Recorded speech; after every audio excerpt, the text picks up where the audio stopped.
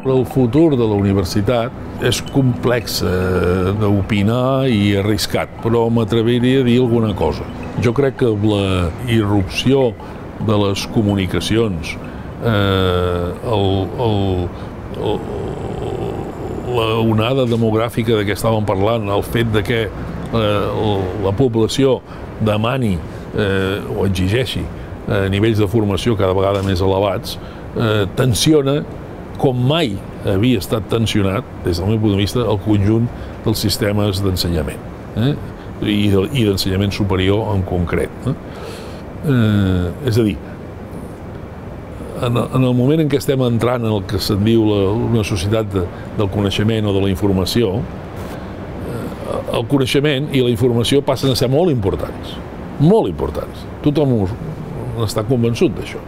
I aleshores, clar, el sistema que està dissenyat per generar i per transmetre aquest coneixement eh, viu amb més pressió. Eh? Viu amb més pressió. I què pot passar? Doncs eh, només hi ha dues sortides, que sigui capaç de donar resposta o que no en sigui capaç. Si és capaç de donar resposta, té un futur, jo diria, eh, extraordinari, perquè sempre l'ha tingut, però ara més, perquè el, el, el tema propi, el, el hardcore, el, el nucli dur del món universitari passa a ser el, el, el primer nivell, amb, amb, amb nivell d'importància per al futur de la nostra societat i tothom ho reconeix. Per tant, qui sigui capaç de fer-ho i de fer-ho bé eh, té un futur eh, molt clar i, i extraordinari, però si no és capaç de fer-ho bé, també eh, corre el risc de que com que és important, si no ho fos no passaria gaire res, però com que és important, a un tema tan important no se li poden admetre que no ho faci bé i que no dongui resposta. I per tant, què pot passar? Simplement que sigui substituït. Eh?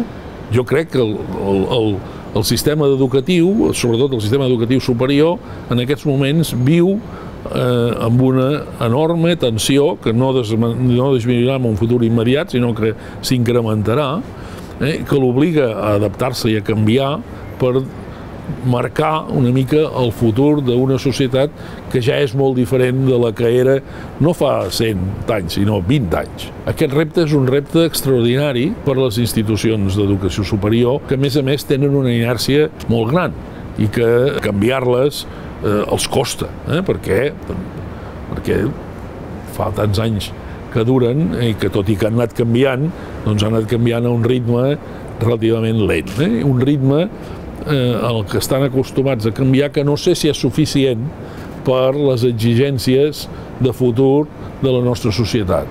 I es corre el risc d'una certa substitució i, de fet, hi ha elements que posen de manifest aquest risc. A dir, avui dia hi ha entitats, eh, diguem, amb, amb poder econòmic suficient que tiren pel dret eh, i que creen els seus propis centres eh, educatius. Eh? I, i, I això no deixa de ser un element de, de substitució d'un model per un altre, no? el fet de el que anomenem eh, universitats corporatives, no? que n'hi ha i, i que van no, no sé si avançant o no, però van experimentant, en tot cas, al costat dels sistemes tradicionals, eh, amb, amb, amb, fi, amb, amb voluntat d'ocupar un espai eh, i, i que si ho fan doncs és perquè pensen que l'altre no està eh, al nivell on està donant resposta a les necessitats que, que, que s'han de cobrir.